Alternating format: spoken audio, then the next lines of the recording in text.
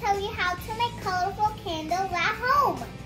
Using some waste candle wax and some ordinary crayons.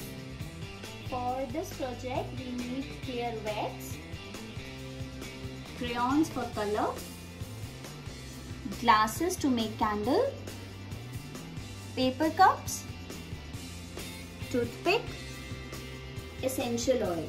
I don't have any scented wax cube so I'm using essential oil. First, you need to peel the paper from the crayon.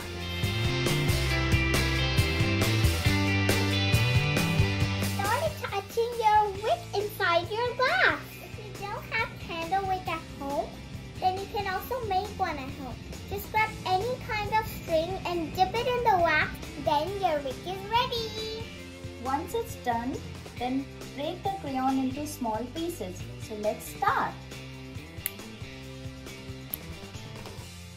Each color will have its own cup.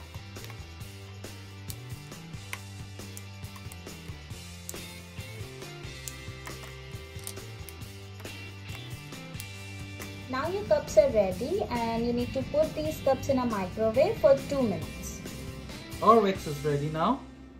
I'm going to add some essential oil just for the fragrance.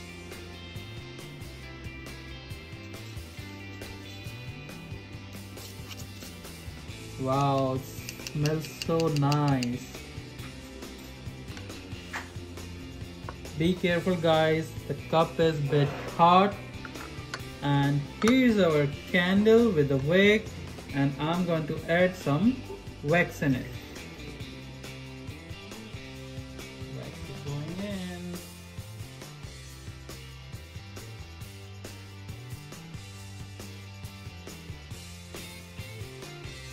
When using multiple colors, let the wax dry for 30 minutes. My wax is dry, now I'm adding second color. So, here I am pouring second color into my candle. Once all your colors are poured in, as you can see, and they look so beautiful, and they smell so nice.